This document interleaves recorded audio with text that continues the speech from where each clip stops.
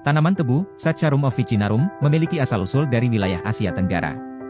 Tanaman ini telah lama menjadi bagian integral dari sejarah pertanian dan kehidupan masyarakat di kawasan tersebut. Tebu dikenal sebagai sumber utama gula, dengan batangnya yang kaya akan sukrosa, yang diekstrak dan diolah menjadi gula. Asia Tenggara, dengan iklim tropis dan tanah yang subur, memberikan lingkungan yang ideal untuk pertumbuhan tebu. Sejak zaman kuno, petani di wilayah ini telah mengembangkan dan mengelola perkebunan tebu sebagai sumber daya ekonomi utama.